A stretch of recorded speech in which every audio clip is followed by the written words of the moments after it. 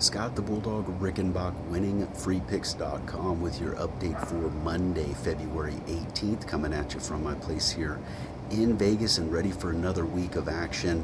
Of course, plenty of college hoops and hockey early this week, and of course, the NBA will be returning later this week. The best way to make sure you get everything, take advantage of those subscription offers at winningfreepicks.com.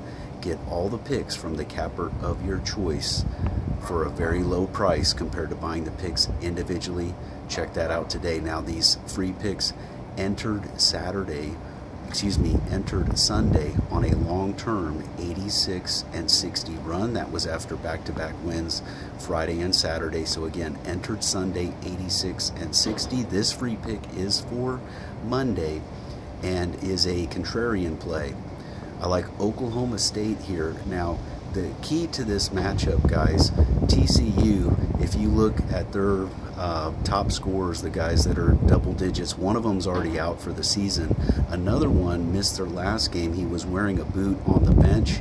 Even if he comes back and plays uh, tonight, he's not going to be that effective, in my opinion.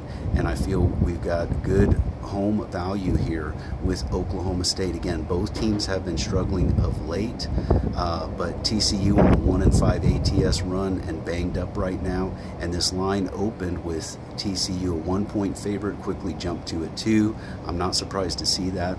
I'm going to go with the home dog here, Oklahoma State, and I expect an upset on Monday night. Scott the Bulldog Rickenbach, winningfreepicks.com, wishing you the best of luck.